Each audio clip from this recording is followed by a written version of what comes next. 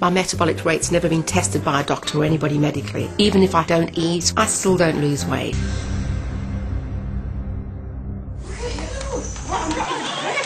Next, we're tracing the cause of Carol Gerarda's excess weight. This belly dancing teacher's pretty sure her spare tire's not down to her sweet tooth. Even if I just live on water and fruit, I still don't lose weight. My metabolic rate's never been tested by a doctor or anybody medically. It's something which, you know, when you read magazines and you find out about things, that's the type of thing that I've sort of put in my own mind, thinking that, that that's what's causing the problem. She's given up trying to diet, convinced her metabolism is working against her. I'm not disciplined in what I eat at all. So if I have a feeling for something, I have to have what I want. I do love cream cakes. There can be an occasion when I can buy a pack of two or four and I'll eat three of those, you know. But then that's my dinner. I won't eat that on top of a meal. So I'm really, really hungry before a dance class.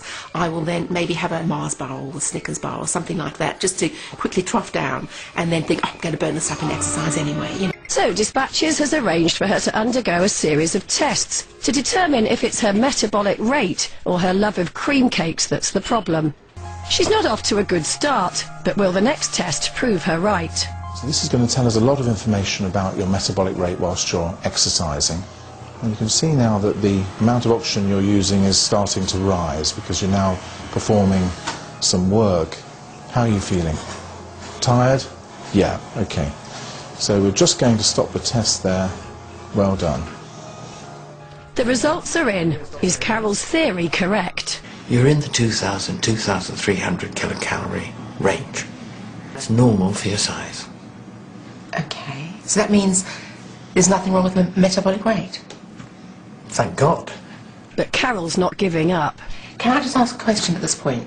Does that mean that it's not just any 1400 calories a day, but it's calories taken from vegetables or cheese or egg?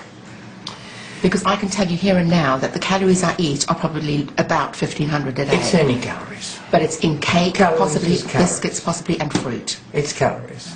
The error is in the calorie counting of the food. I, I hear exactly what you say, and I want to put it to the test, and I'm prepared to do exactly what you tell me to prove to you that it's not the amount of calories, it's what you eat. Because the reason I'm saying that is because when I have not eaten for three days, I don't lose not even half a pound of water.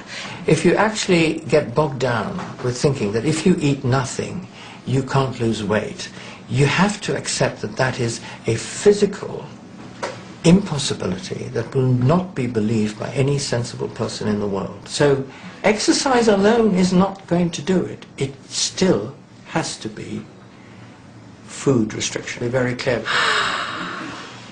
Oh.